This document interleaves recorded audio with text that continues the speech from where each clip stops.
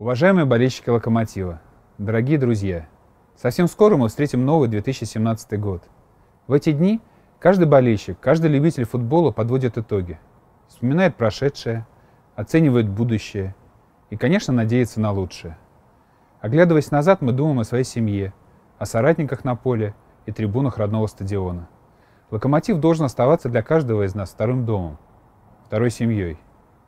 Для того, чтобы дома было комфортно и уютно, мы должны сделать еще немало важных дел. Мы хотим, чтобы наш стадион всегда был полон. Несмотря на трудности, у нас достаточно поводов и для оптимизма. Это игроки, голодные до побед, это тренерский штаб, сочетающий в себе опыт, молодость и приверженность традициям. Это вы, наши дорогие болельщики. Вас мы хотим всегда радовать. И пусть наступающий год подарит всем нам много поводов для радости. С новым 2017 годом, Локомотив!